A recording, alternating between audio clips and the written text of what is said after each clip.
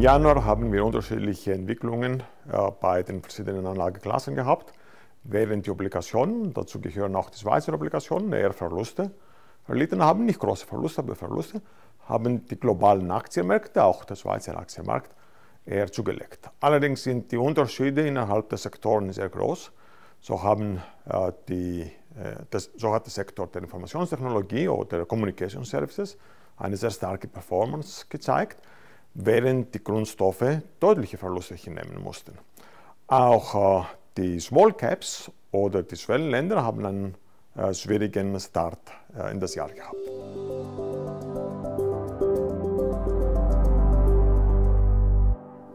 Nachdem das dritte Quartal des letzten Jahres bereits ein starkes Quartal für die amerikanische Volkswirtschaft war, war das vierte Quartal ebenfalls äußerst stark. Wir haben eine Wachstumsrate von 3,1 äh, Prozent annualisiert im vierten Quartal gesehen. So gesehen, auch das ganze Jahr 2023 war ein gutes Jahr für die US-Konjunktur. Sie ist stärker als äh, beim Potenzial gewachsen.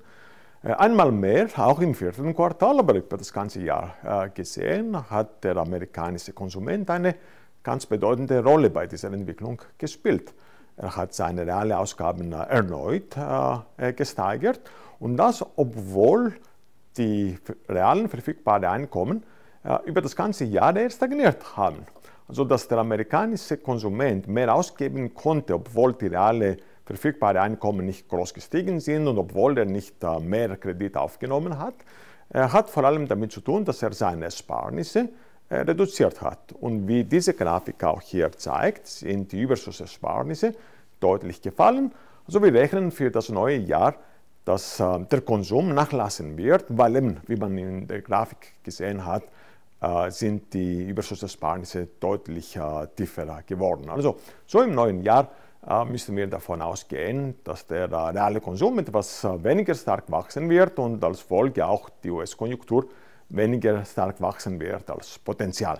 Jetzt außerhalb der USA ist die Lage sicher weniger gut. Also das gilt auch für Europa und vor allem für die exportorientierte, industrielastige äh, Volkswirtschaften Europas, vor allem im Zentrum Europas. Deutschland äh, ist im Jahr 2023 in der Rezession äh, gewesen.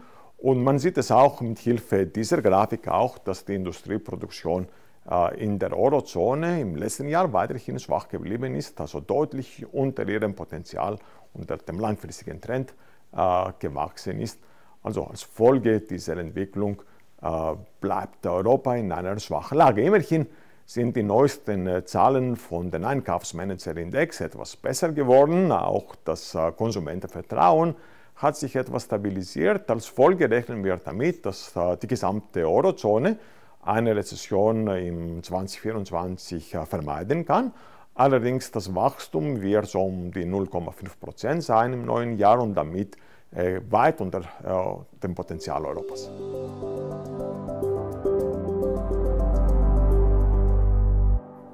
Es war ein wichtigen, aber weniger wichtig als im Jahr 2022. Damals, äh, nach dem Start des Krieges äh, in der Ukraine, sind die Energiepreise sehr stark äh, gestiegen.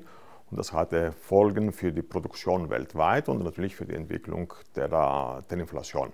Heute sind, ist der Anstieg der Energiepreise zwar in den letzten Wochen schon etwas, sind die Energiepreise schon etwas angestiegen, aber es ist nicht vergleichbar mit dem, was wir im Jahr 2022 gesehen haben.